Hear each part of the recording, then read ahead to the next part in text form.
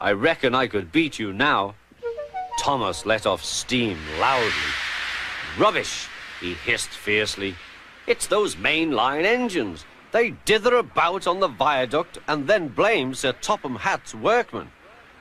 It's just an excuse for laziness, if you ask me.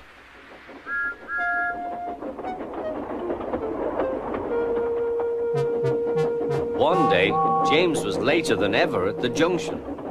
I'm sorry, Thomas, he puffed. I was held up at the station, and the viaduct made it worse. It's lucky for you I'm a guaranteed connection, grumbled Thomas. Before James could answer, he puffed importantly away. Come along, come along, he panted to the coaches. Annie and Clarabel did their best, but Thomas soon found that he couldn't save much time. Suddenly, Thomas saw Bertie ahead. His radiator was steaming. What's the matter? asked Thomas. You should be at the station by now. You're late. I feel dreadful, moaned Bertie. All upset inside, and driver says he can't make me better.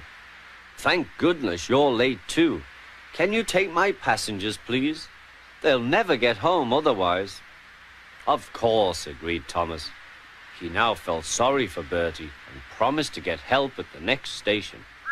Thomas set off again. Already he felt much more cheerful, and Bertie's passengers, travelling in Annie and Clarabel, all reached home safely.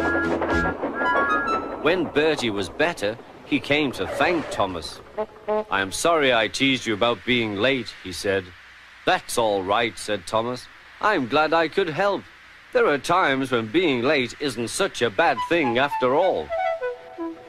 With a last cheerful greeting, the two friends went back to work.